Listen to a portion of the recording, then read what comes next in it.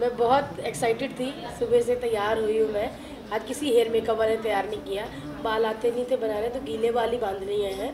तो थोड़ा सा मेकअप किया है थोड़ा सा ज़्यादा ही कर दिया और बस ज्वेलरी पहनी अच्छा सा ड्रेस पहना है। नहीं मैं सिंपल आदमी हूँ मैं बस वाइट शर्ट होती है मेरे पास एक और ब्लू जीन्स होती है बस बहुत सारी वाइट शर्टें हैं।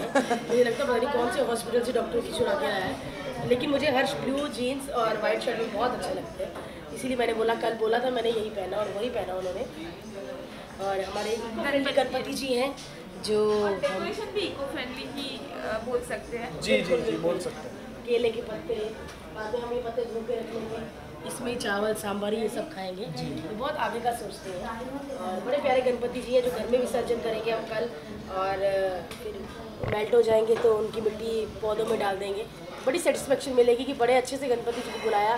और बहुत बड़े अच्छे से उनको विसर्जित प्लीज़ हाथ जोड़ के बेनती है कि आप सब भी जिन्होंने इस बार नहीं किया next year please eco friendly Ganpati ji लाएँ, ताकि वो भी अच्छे से खुश हो सके और हम भी अच्छे से उनका सम्मान कर सकें और सेटिस्फाइड हो सके।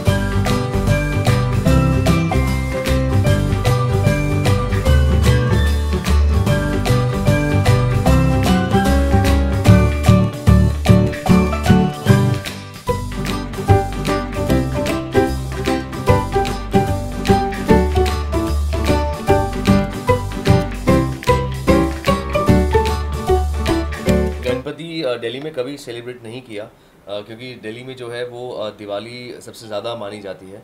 और महाराष्ट्र में मुंबई में गणपति जी को इतना बड़ा बहुत बड़ा फेस्टिवल होता है। और उसके इनके अंदर एक अलग ही पावर एक अलग ही चमक होती है जो हर किसी को दूर दूर से खींच के लेके आ जाती है। तो आई थिंक ये वही है जब एक ही दिन ऐसा होता है जिस दिन सब मिलते हैं इनकी ब्लेसिंग्स लेने के लिए। अ, मेरे हिसाब से मुझे ऐसा लगता है कि अ, हमें इनसे मांगने की ज़रूरत पड़ती नहीं है क्योंकि इन्हें सब कुछ पता है कब किसको किस टाइम पे किस जगह पे क्या देना है तो उनसे बिन मांगे मिल जाता है। बस यही है कि इन्हें खुशी खुशी घर लेकर आए हैं और खुशी खुशी इनको विदा भी करेंगे। और बस राजा की तरह हैं देखिए राजा की तरह बैठे हैं यहाँ पे। ब्लेसिंग्स दे रहे हैं। ब्लेसिंग्स दे रहे हैं वहीं से सबको।